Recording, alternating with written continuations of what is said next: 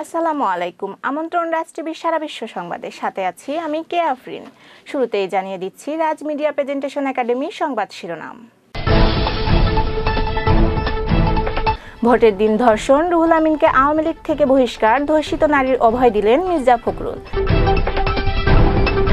যে কোনো পরিস্থিতি মোকাবেলায় সেনাবাহিনীকে যুদ্ধের জন্য তৈরি থাকতে বললেন চীনা প্রেসিডেন্ট শি।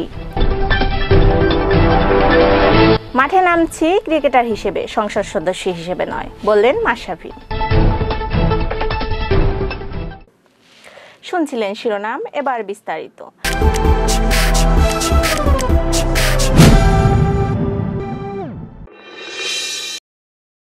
বিএনপির মহাসচিব মির্জা ফখরুল ইসলাম আলমগীর শনিবার নোয়াখালীর হাসপাতালে গিয়ে সুবর্ণচরের ভোটের দিন ধর্ষিত নারীর সঙ্গে কথা বলেন ও তার চিকিৎসার খবর নেন।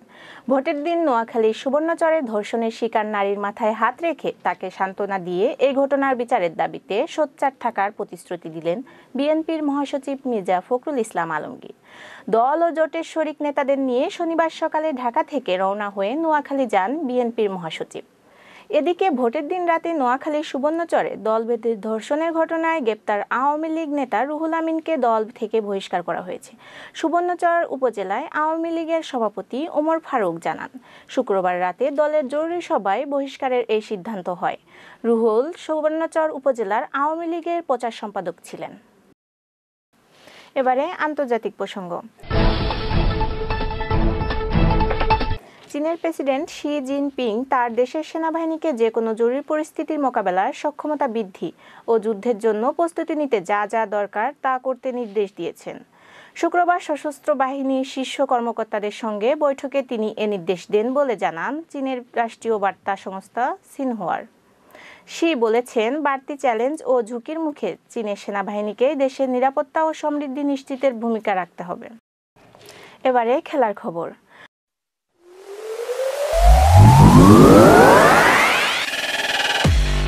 সদ্য সংসদ সদস্য নির্বাচিত হওয়ায় ক্রিকেটার মাশরাফি বিন মুর্তজা বলেন, ক্রিকেটার হিসেবে আমার পরিচয় অটুট আছে। মাঠে আসছি সেই পরিচয়ে।